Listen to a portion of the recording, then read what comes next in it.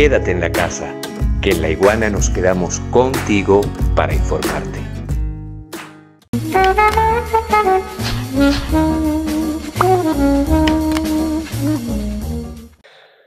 Yo no puedo hablar de Ecuador, yo no puedo hablar de Ecuador sin hablar de la grandísima crisis sanitaria que hay.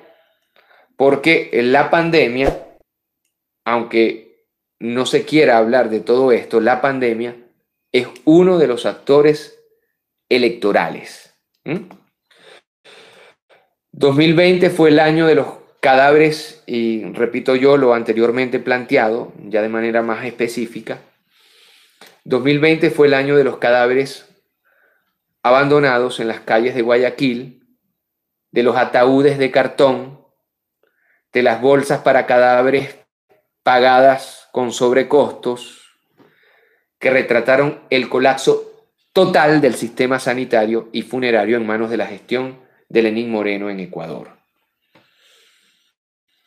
Esta realidad evidentemente genera polémica partiendo del hecho de que Ecuador es uno de los países con mayor recepción de recursos por parte de la llamada ayuda de organismos multilaterales, a diferencia de mi país, Venezuela, o a diferencia de Cuba, son países bloqueados, pero con infinitamente mejores cifras que Ecuador o que Perú o que Brasil o que Colombia o que Chile en el eh, manejo de la pandemia.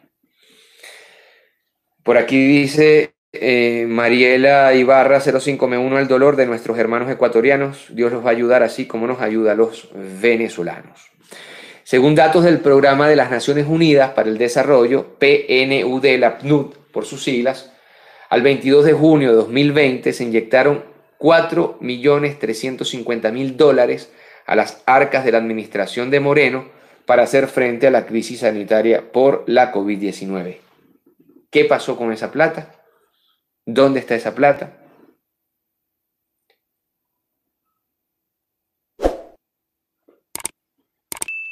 El financiamiento se desglosó en la reprogramación de los fondos de la Unión Europea por 19.287, escuchen bien, 19.287 millones de dólares.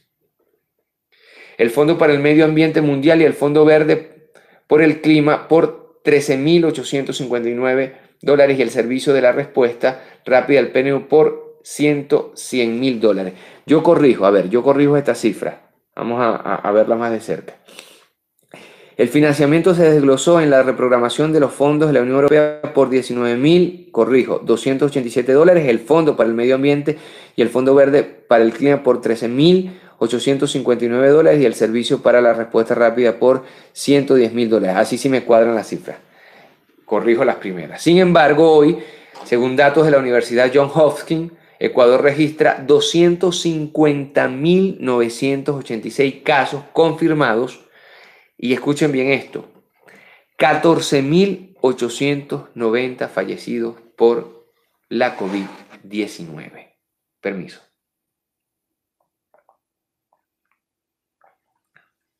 Amigos y amigas, casi 15.000 fallecidos en Ecuador esto no tiene nombre. Y esto nos hace volver otra vez al coro de esta canción y preguntarnos, ¿dónde están estos recursos? ¿Dónde están estos recursos? ¿Dónde están? Porque tratan de parar una elección, de detener una elección, porque no le cumplieron a su pueblo. Esa es la cruda realidad.